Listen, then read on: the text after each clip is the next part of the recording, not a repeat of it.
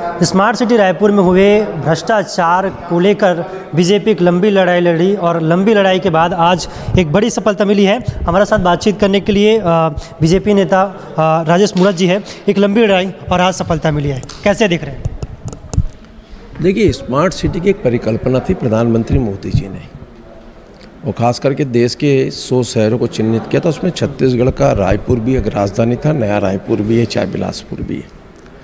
जिस पैसे का जिस कार्य योजना के लिए संपादित करने के लिए दिया गया था, उसका बंदरपाट उसका दुरुपयोग। टेक्निकल रूप से अगर हम देखा जाए तो स्वीकृत कुछ हुआ और किया कुछ। फ़िज़िकल देखने जा रहे हैं तो वहाँ कुछ वो नज़ारा देखने को मिल रहा है।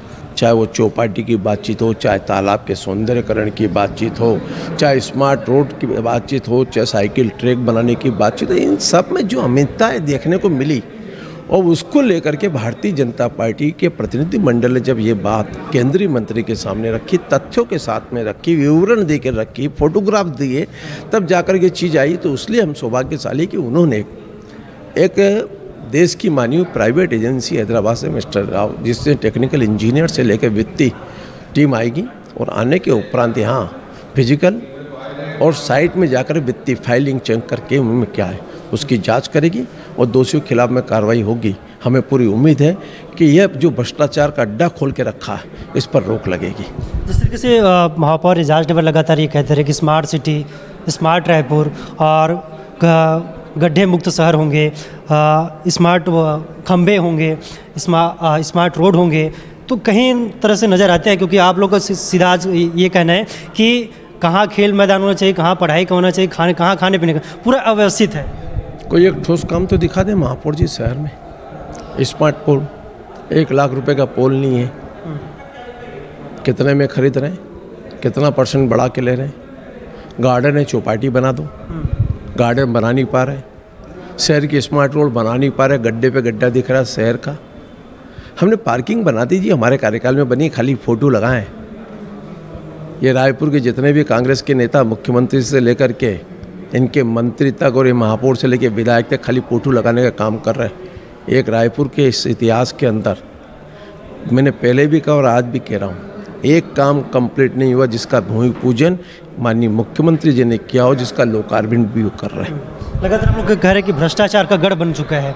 क्या लगता है आने वाले समय जो जाँच होगी तो ये पूरा गढ़ है वो नस्ते नाबूद होगा भ्रष्टाचार का?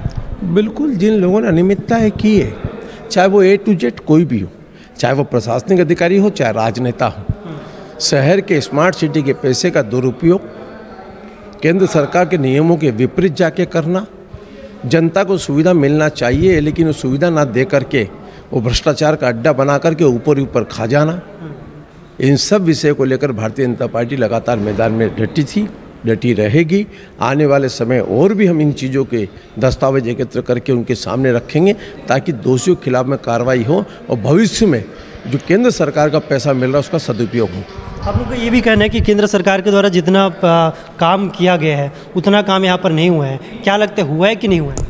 ये तो आप बताएँगे, शहर में आप घूम रहे हैं, गड्ढे दिख रहे हैं, तालाब का सौंदर्यकरण बर्बाद करते हुए दिख रहा है। चौपाटियाँ सड़कों पर लग रही है, स्मार्ट रोड की हालत बदतर हो चुकी है। चोर पुलिस के नाम पर स्मार्ट पुलिस। और यहाँ क्या कहते हैं, उसके कैमरे लगाएँ, दो सौ करोड़ रुपया। अरे कहाँ पूरे शहर के अंदर? खुलेआम गुंडागर्दी खुलेआम हुड़दंग।